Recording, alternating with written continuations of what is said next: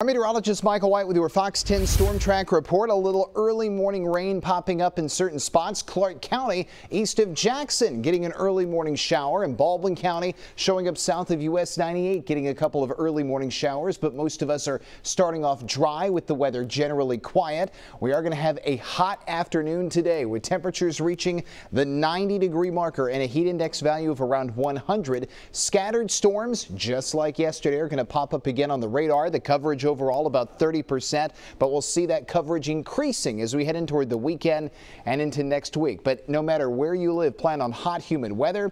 And of course, every day there will be scattered summer storms to dodge. As far as tropical weather, things are still quiet for now. No disturbances in the Atlantic, the Caribbean, or in the Gulf of Mexico. As mentioned yesterday, there is going to be an area of interest at the end of next week in either the southern Gulf or the Bay of Campeche that we'll be watching and keeping our eye on. But for now, there are no disturbances out there. As far as your weather headlines go for this Friday, it's still humid this morning. As we go into your rain chances, expect more scattered storms.